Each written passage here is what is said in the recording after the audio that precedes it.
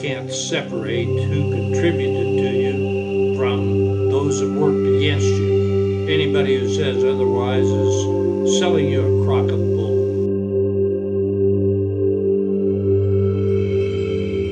Making a legally correct decision in a criminal case can be a nightmare because if it's unpopular, you could lose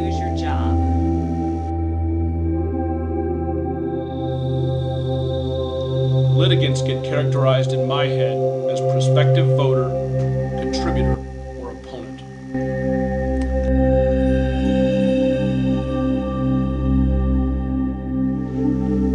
Even your time on the bench becomes a sales pitch for yourself.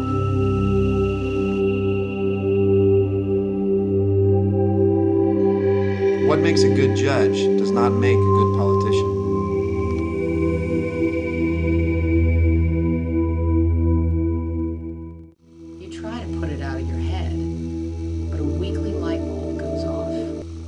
Decision have any effect on the next election? I hate it.